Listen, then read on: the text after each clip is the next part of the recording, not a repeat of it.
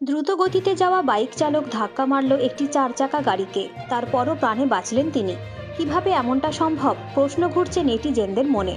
ঘটনাটি ঘটেছে বীরভূমের বোলপুরে পয়লা জানুয়ারি দুপুর একটা চোদ্দ মিনিট নাগাদ। দ্রুত গতিতে যাওয়া বাইক চালক ধাক্কা মারল একটি চার চাকা গাড়িকে। তারপরও প্রাণে বাঁচলেন তিনি।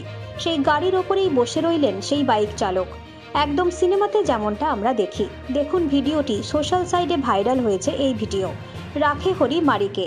অতি প্রচলিত এই প্রবাদ তো প্রায় সকলেরই জানা। এবার তারই নমুনা পাওয়া গেল সোশ্যাল মিডিয়ায় ভাইরাল হওয়া একটি ভিডিও থেকে।